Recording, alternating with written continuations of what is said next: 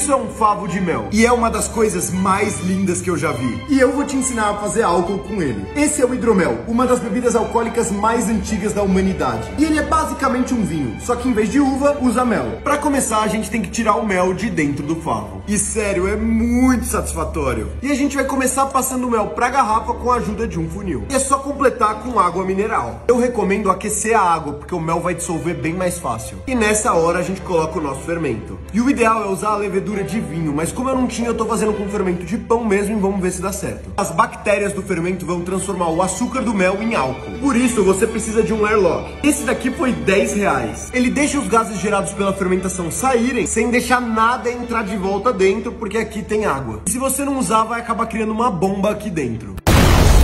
Agora é só você colocar uma etiqueta e esquecer disso por um mês. Depois de 35 dias ele vai ficar cristalino e todo o sedimento vai se depositar no fundo. E agora, com muito cuidado, vou usar a física para passar dessa garrafa para essa aqui. Desse jeito a gente não pega nem um pouco do sedimento de baixo nem de cima e passa só o líquido clarinho. Vai sobrar um pouquinho de líquido e vai começar a se misturar com o sedimento. O importante é só que não venha para essa garrafa aqui. E agora vamos provar tem muito, muito cheiro de vinho e nenhum de mel. A graduação tá um pouquinho mais forte que um vinho, eu diria, e o gosto de fato é muito parecido com vinho com algumas leves notas de mel, mas é muito, muito bom. Então se prepara porque